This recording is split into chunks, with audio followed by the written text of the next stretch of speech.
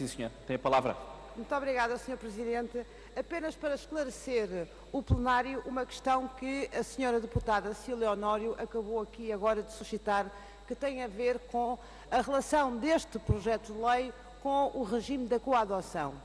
Eu queria deixar muito claro, Sr. Presidente, que os dois regimes não são incompatíveis e que, acima de tudo, está a tentar ver uh, apenas pela janela aquilo que a porta abre claramente.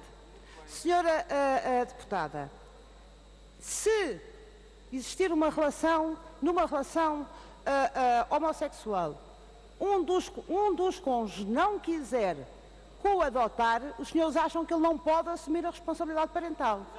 Querem o mais e não querem o menos. Querem o mais e não querem o menos. Ó oh, oh. Deputada, pelo menos que olhemos para as situações reais que hoje existem e comecemos, pelo menos por aí, a resolver o problema. Agora, nós temos que olhar para o conjunto da situação. No dia em que a coadoção for adotada, for uh, uh, uh, aprovada, este regime mantém a sua, a sua razão de ser. São coisas distintas. Não há incompatibilidade nem em relação à adoção, nem em relação à coadoção.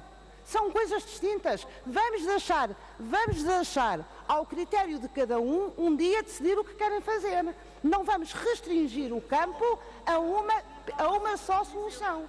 Esperemos que um dia, se vier a ser aprovada a coadoção, não há razão para não manter a, a, a, partilha da responsabilidade parental. E isso eu acho que é evidente. Muito obrigada, Sr. Presidente.